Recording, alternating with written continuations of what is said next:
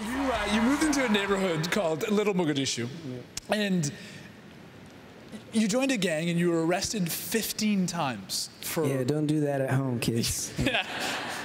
Well, this is what I'm trying to understand because we've known each other through your charitable work.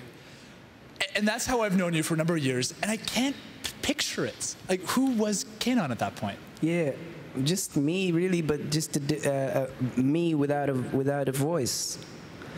Imagine uh, my music and everything that you heard in those songs bottled up in one person with no way to express those things. You know, what kind of person would that be? So I really was lucky that music kind of came to my rescue.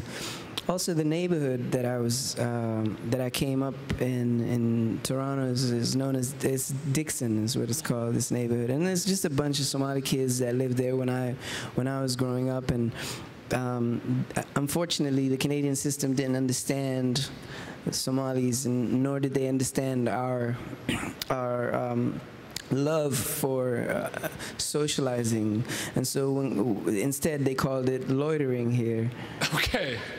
And so that was actually a charge. You know, you could you could you could get trespassed from hanging out um, by the courtyard of the buildings that we lived in.